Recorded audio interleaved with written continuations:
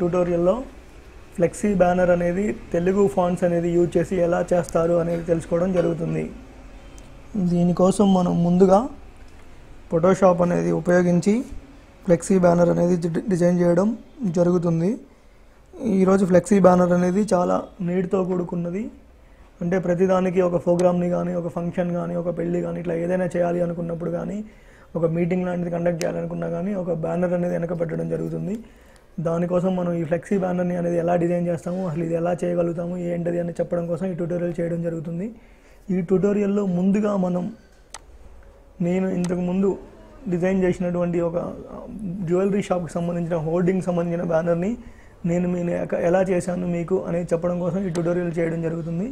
ఈ ట్యూటోరియల్లో మొత్తం ఇది ఎలా చేశాను సింపుల్ అనేది మీకు చెప్పడం జరుగుతుంది. ముందుగా బేసిక్గా ఫ్లెక్సీ సైజు అనేది చాలా ముఖ్యమైనది అంటే కస్టమర్ వచ్చి అడిగినప్పుడు కానీ లేకపోతే మనం చేస్తున్నప్పుడు కానీ సైజ్ అనేది మెన్షన్ చేయాలి.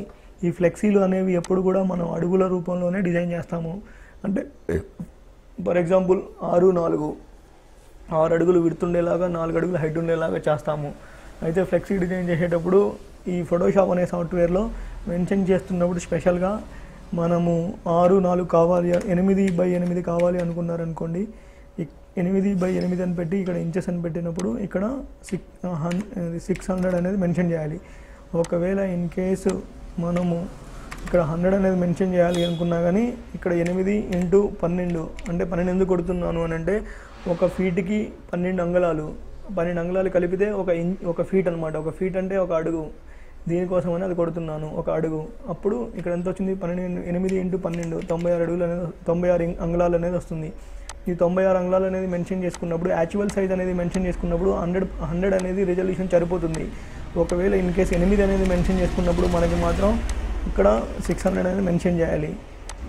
అది ఒకవేళ మళ్ళీ ఇంకో దీంట్లో ఒక ఆప్షన్ ఉంటుంది. ఎనిమిది ఇంటూ మనకి పన్నెండు అనేది తెలుసు. కాకపోతే ఇక్కడ క్యాలిక్యులేషన్ వస్తుందా లేదా అని డౌట్ ఉండొచ్చు.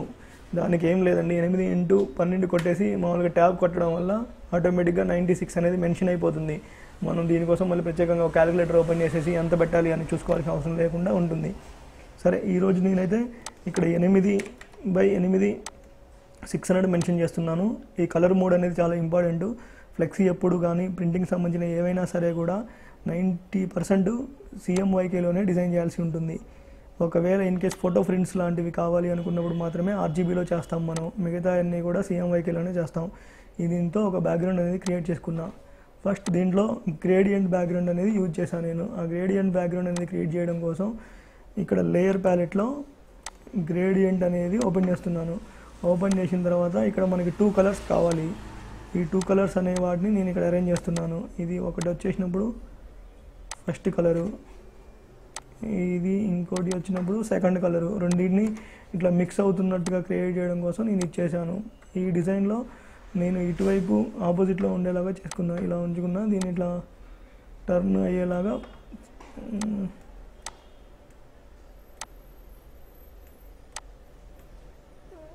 ఇలా చేసుకున్నాను నేను ఈ డిజైన్లో. ఆ తర్వాత ఈ డిజైన్లో ఇది ప్లెయిన్గా ఉంది. దీనికి నేను ఏం చేశాను అంటే ఒక ప్యాటర్న్ ఇమేజ్ అనేది యాడ్ చేశాను. ఈ ప్యాటర్న్ ఇమేజ్ అనేది నార్మల్ మోడ్లో ఉంచా. యాక్చువల్గా ఇది డౌన్లోడ్ చేసినప్పుడు ఇలా ఉంది. దీన్ని తీసుకొచ్చి నేను ఇక్కడ పెట్టాను. ఇక్కడ పెట్టిన తర్వాత ఇది ఇలా డైరెక్ట్గా ఇలా ఉంటే బాగుండదు. కాబట్టి దీన్ని నేను ఏం చేస్తున్నాను అని అంటే బ్లెండ్ మోడ్స్ అనేవి చేంజ్ చేస్తున్నాను. ఈ బ్లెండ్ మోడ్ అనే ఆప్షన్ ఫోటోషాప్లో చాలా సందర్భాల్లో చాలా విధాలుగా ఉపయోగపడుతుంది. దీనివల్ల వర్క్ యొక్క మొత్తం అపీరెన్స్ కూడా మారే అవకాశం ఉంటుంది. హండ్రెడ్ పర్సెంట్ దీన్ని పర్ఫెక్ట్గా యూజ్ చేయగలిగితే చాలా మంచి వర్కులు చేయడానికి అవకాశం ఉంటుంది. దీన్ని నేనేం చేస్తున్నాను అంటే ఇట్లా మోడ్స్ అనేవి చేంజ్ చేసుకుంటూ వస్తున్నాను. దీంట్లో నాకు మంచిగా అనిపించిన మోడ్ దగ్గర నేను దీన్ని ఉంచేసుకుంటాను. నాకు ఇక్కడ డివైడ్ అనే మోడ్ మంచిగా అనిపించింది. తర్వాత బాగా లై ఎక్కువ కనిపిస్తుంటే అనిపిస్తుంటే నేను దాన్ని చిన్నగా కొద్దిగా తగ్గించుకున్నాను. దీనివల్ల ఇందాక ఉన్న ప్లెయిన్ బ్యాక్గ్రౌండ్కి దీనికి కొద్దిగా అపీరెన్స్ అనేది మారింది. మారిన తర్వాత నేను ఇప్పుడు సెకండ్ స్టేజ్ ఇప్పుడు బార్డర్ గీయడానికి ట్రై చేస్తున్నాను. ఇట్లా చుట్టూ ఒక బార్డర్ లైను ఈ బార్డర్ లైన్ కోసం ఇలా ఒక రెక్టాంగిల్ బాక్స్ గీసుకున్నాను. ఈ ఫిల్ అనేది తీసేసాను స్ట్రోక్ అనేది వైట్ కలర్ అప్లై చేశాను. స్ట్రోక్ యొక్క థిక్నెస్ అనేది ట్వంటీ అనేది మెన్షన్ చేసుకున్నాను. ఇక్కడికి వచ్చేసినప్పుడు రెగ్యులర్గా లైన్ మోడ్ కాకుండా డాట్ మోడ్లో ఉండడం కోసం ఇలా మెన్షన్ చేసుకున్నాను. దీన్ని పేజీకి మిడిల్లో వచ్చేటట్టు పెట్టుకున్నాను. ఆ తర్వాత ప్రాపర్టీ ప్యానల్కి వెళ్ళి ఇక్కడికి వచ్చేసినప్పుడు సమ్ ఒక ఇక్కడ లింక్ పెట్టుకొని త్రీ హండ్రెడ్ అనేది మెన్షన్ చేయడం జరిగింది. దానివల్ల అన్ని కార్నర్కి సమానంగా వస్తుంది. దీన్ని నేను ఇంకొద్దిగా ఇలా తగ్గించుకొని మళ్ళీ యాజ్ యూజువల్గా మిడిల్ చేసుకున్నాను. దీంతో బ్యాక్గ్రౌండ్ బ్యాక్గ్రౌండ్తో పాటు ఈ బార్డర్ కూడా అయిపోయింది. దెన్ ఇప్పుడు ఈ టైటిల్ అనేది మెన్షన్ చేయాలి మనం. ఈ టైటిల్ అనేది మెన్షన్ చేయడం కోసం యాజ్ యూజువల్గా మళ్ళీ ఒక రెక్టాంగిల్ తీసుకున్నాం. ఇక్కడ రెక్టాంగిల్లో వైట్ కలర్ అనేది మెన్షన్ చేసాం ఇక్కడ స్ట్రోక్ అనేది నీళ్ళు చేసేసా దానికోసం అని ఇట్లా ఒకటి డ్రాగ్ చేసా ఒక బాక్స్ని ఇది మళ్ళీ నేను యాజ్ యూజువల్గా మిడిల్ చేసుకున్నాను. ఇక్కడికి వచ్చేసినప్పుడు ఈ కార్నర్ అప్లై అనేది దీనికి కూడా వాడాను. కాకపోతే దీనికి నాలుగు వైపులో వాడడం జరిగింది.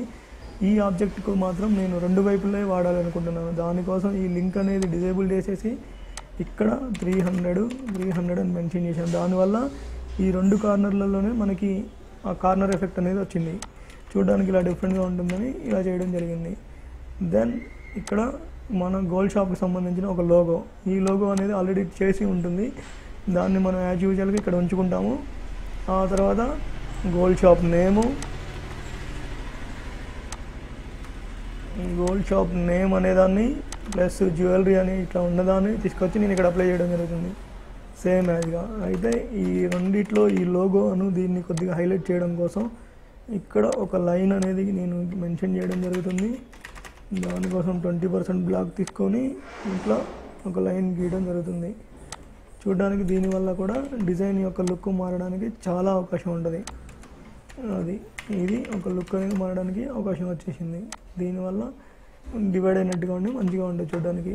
దీని తర్వాత నెక్స్ట్ వన్ వచ్చేసి నేను ఏం చేస్తున్నా అంటే ఇప్పుడు మళ్ళీ ఇక్కడికి వెళ్ళిన తర్వాత ఈ బాక్స్ అనేది క్రియేట్ చేయాలి. ఈ బాక్స్ అనేది క్రియేట్ చేసుకోవడం కోసం ముందుగా రెక్టాంగిల్తో ఇలా ఒక టూల్ తీసుకొని మనకి ఏ సైజులో కావాలో ఆ సైజులో మెన్షన్ చేసుకున్నాము. దీని కలర్ వచ్చి యాజ్ యూజువల్గా వైట్ అనేది మెన్షన్ చేశాను. దీన్ని ఆల్ట్తో డ్రాగ్ చేసి ఇంకో సైజ్ తీసుకున్నాను. దీన్ని మనకి లోపల కలర్ ఎంతవరకు కావాలి అనేది మెన్షన్ చేసుకొని అంతవరకు నేను దీన్ని తీసుకున్నాను. దీనికోసం మళ్ళీ యాజ్ యూజువల్గా కలర్ అనేది ఇక్కడ అప్లై చేశాను.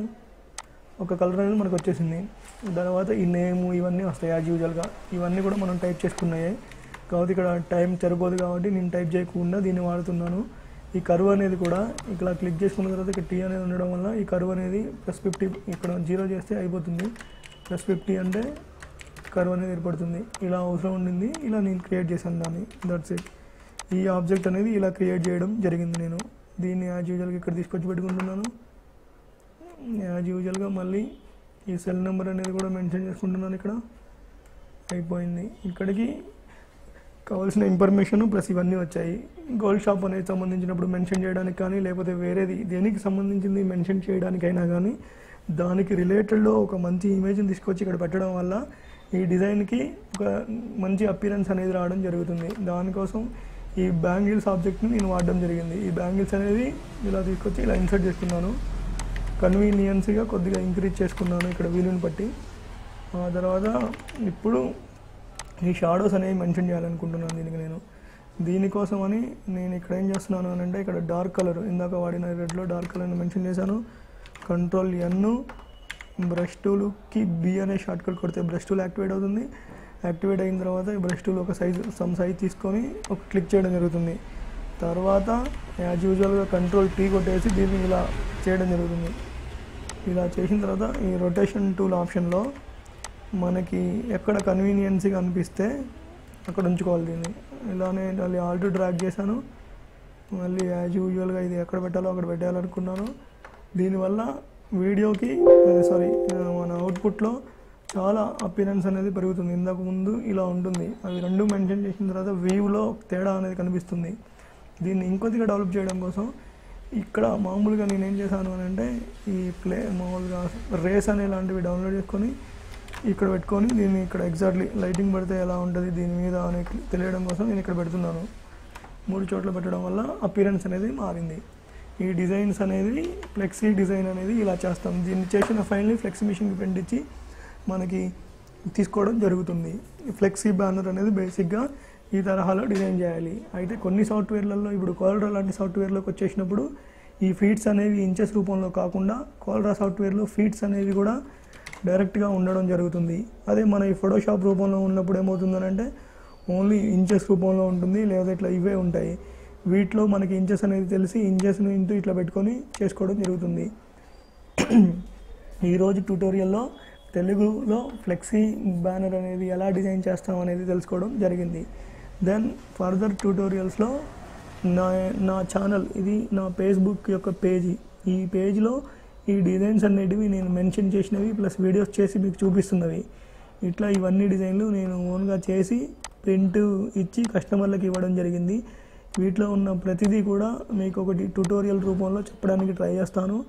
దానికోసమని డే బై డే ఒక్కొక్క ట్యూటోరియల్ని అప్లోడ్ చేయడం జరుగుతుంది.